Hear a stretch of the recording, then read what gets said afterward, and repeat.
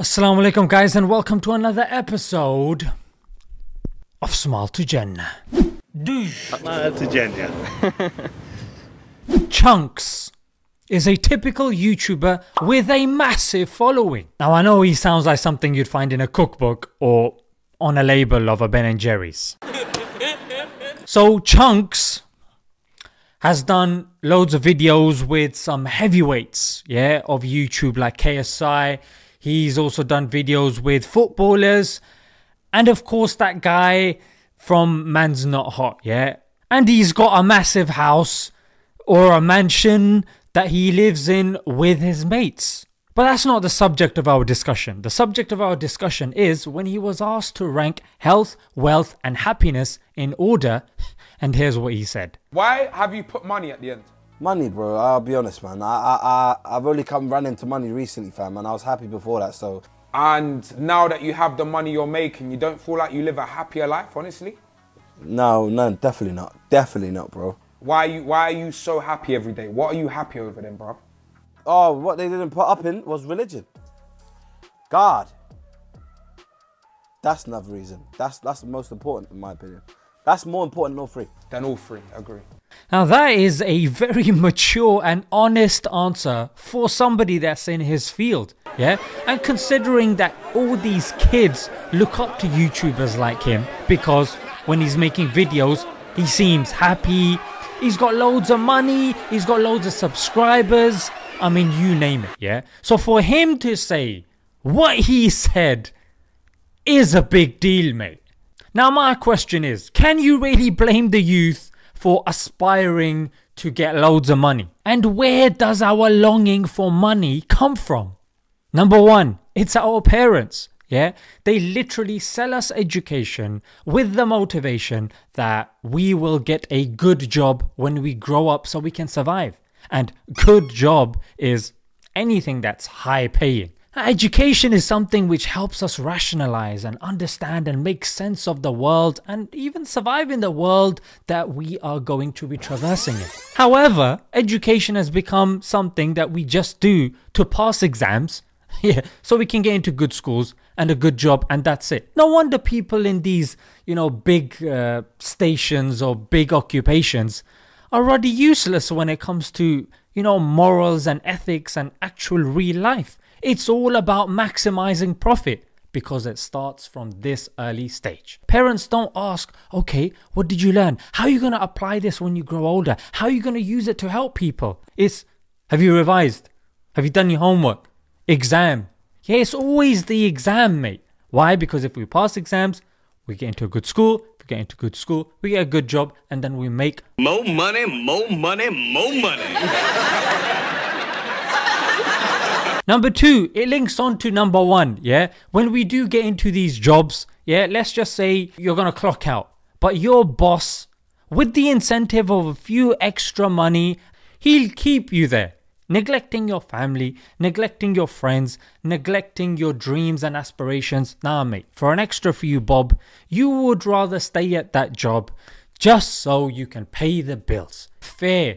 Fear is something that pushes us into doing jobs that we don't like, into becoming miserable, and eventually this misery eats away at us. I'd say that's one of the primary causes of depression. And money has turned people into dogs. And when it comes to Jenna, that is literally the case. Now, because of a large following and the six figures that she gets per month, she is literally pretending to be a dog for a living, mate.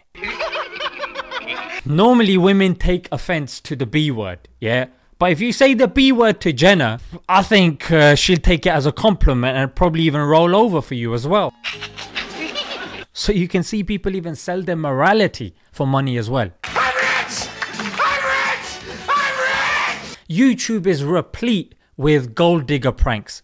And that's why the famous drug dealer Pablo Escobar used to say, everyone has their price. But people that cannot be bought or sold are a force to be reckoned with. It's not about money. It's about sending a message. And it reminds me of an incident where a companion of the Prophet, peace be upon him, was called to one of the opulent leaders and he wanted to lure and entice Rabi ibn Amir. Rabi ibn Amir, one of the lowest of the companions, when he went there, boy, he showed absolutely no regard for his opulence and his money. And he made such an impression on Rustam that Rustam went, Are you one of the leaders? And Rabi ibn Amir goes, No, I'm one of the lowest from amongst them.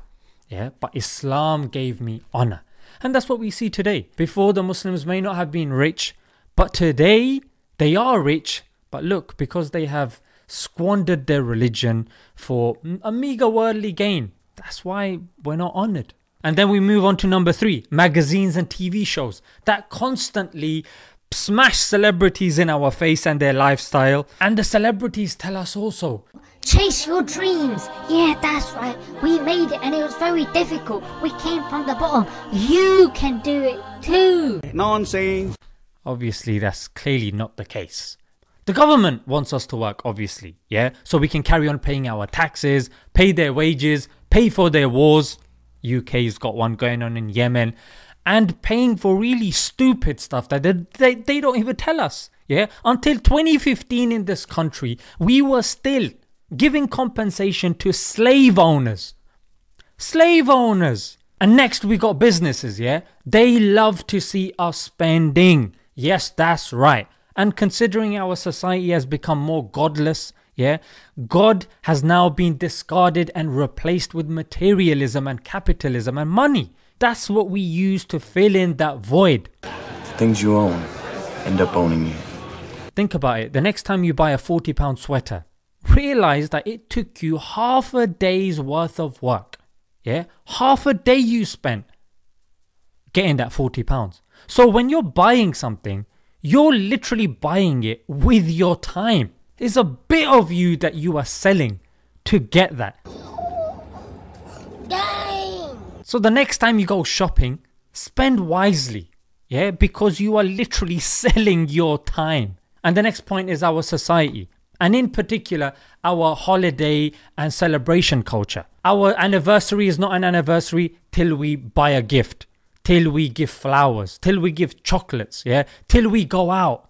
Look at the celebrations, yeah. We may or may not celebrate them. You got Halloween, you got Valentine's Day, you got Christmas.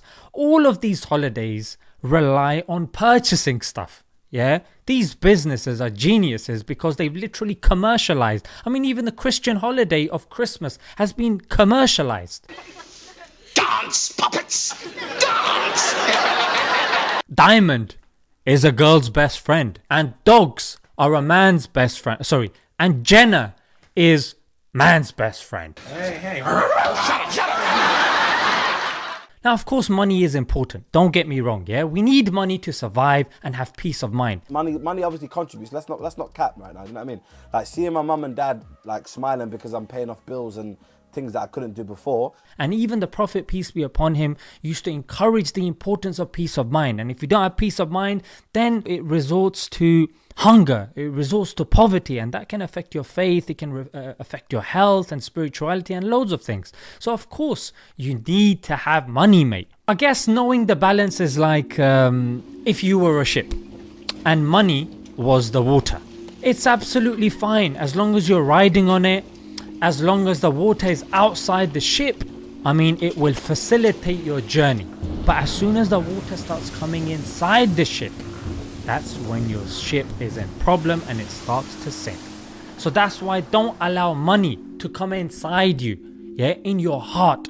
Don't let it affect you as a person. Now remember this quote money is a means to wealth, not the wealth itself. So, money can help you purchase the bus ticket, but money is not the destination that you're going to. And I think it will do us well to know that money can buy us a house, but not a home. It can buy us medicine, but it can't buy us health. It can buy us books. It can't buy us knowledge. It can't talk to you when you're getting over a heartbreak. It won't visit you in hospital when you go through an accident. And it doesn't make people miss you when you die. And of course, it will not benefit you in the grave. I mean, the pharaohs used to try that. Yeah, they used to be buried with all their golden ornaments, but where are those ornaments now? They've been dug up thousands of years later and they're in our museums. So, guys, life is to be lived. Yeah, it is not to be purchased. My life here might not seem like much to you, but it's the life I choose. You don't choose a life, Dad. You live one. And Allah has given us this life as a gift. And regardless of who we are, He's given it free of charge. And the least that we can do is thank Him for it. In a way that He's asked us to. Through salah, through prayer, which is only a few minutes a day. Let's leave it there, guys. Until next time. Assalamu alaikum.